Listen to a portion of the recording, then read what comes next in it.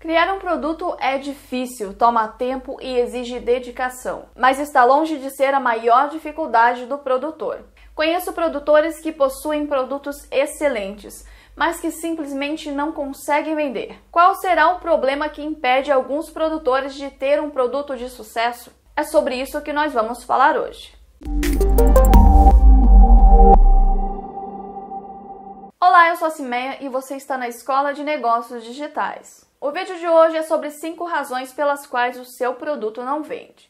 Mas antes de entrar nesse assunto, se você é novo por aqui, se inscreva para aprender mais sobre negócios digitais, marketing digital e vendas online. Aproveite também e deixe o seu like aqui embaixo e siga a escola nas redes sociais.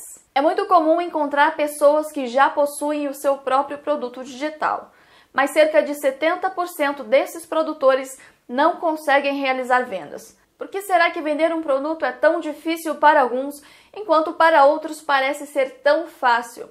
Já vi porcarias de produtos com vendas lá nas nuvens. Enquanto ótimos produtos simplesmente acabam sendo abandonados por falta de clientes. Mas por que será que isso acontece? Eu separei aqui uma lista de cinco razões pelas quais muito provavelmente você não consegue atrair clientes para o seu produto por melhor que ele seja. Veja que eu disse possivelmente.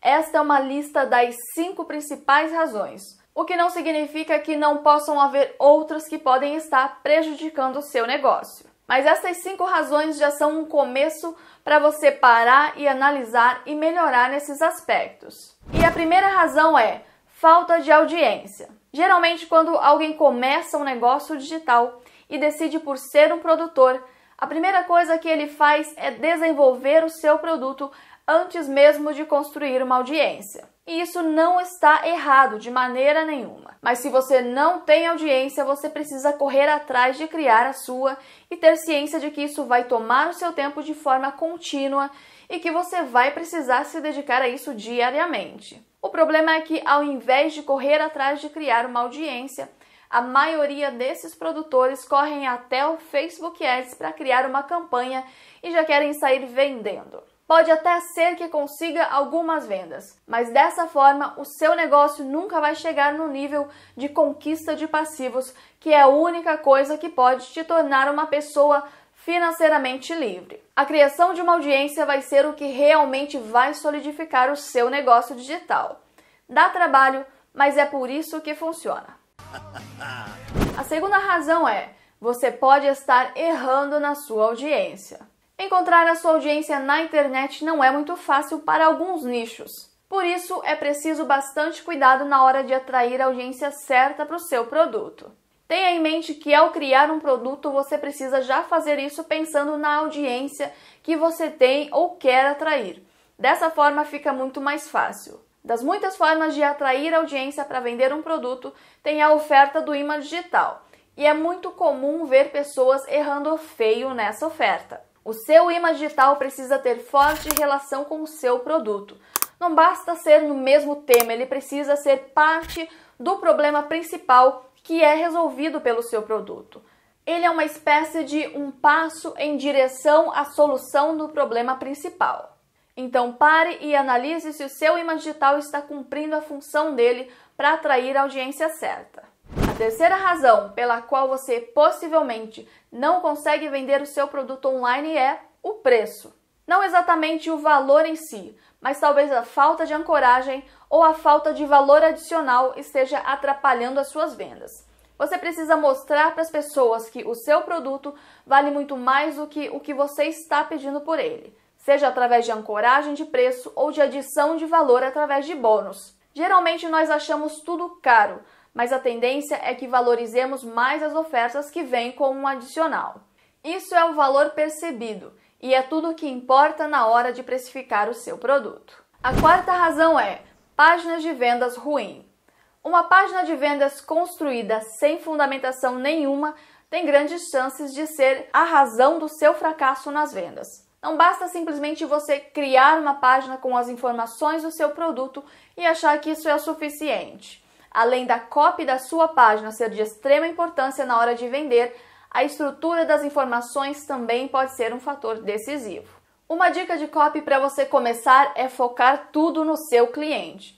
E tem um vídeo aqui no canal que eu falo sobre isso. E eu vou deixar no card aqui em cima para você ver depois. Tenho certeza que isso vai te ajudar e muito a construir uma página com melhores conversões em vendas. A quinta e última razão é: o seu produto não resolve uma dor importante.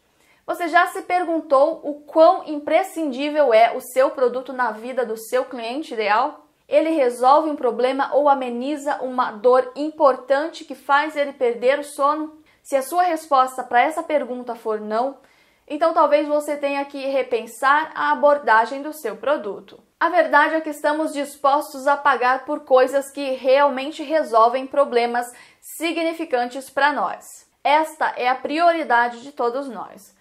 E se o seu produto não é capaz de resolver algo realmente inconveniente, uma dor realmente dolorosa, então por mais que você acerte na sua audiência, no seu preço e na cópia da sua página de vendas, dificilmente você vai vender tanto quanto você gostaria.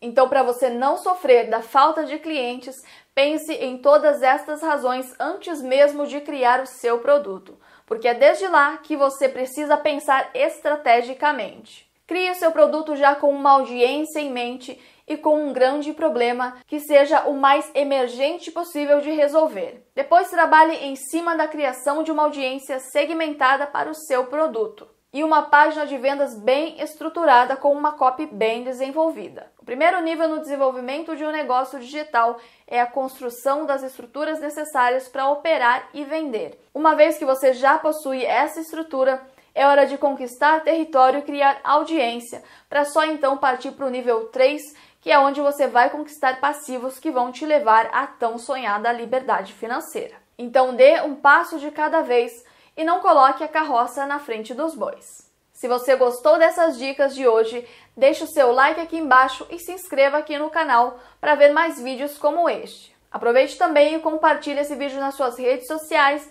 para que outras pessoas possam tirar proveito desse conteúdo. Hoje eu fico por aqui e até a próxima!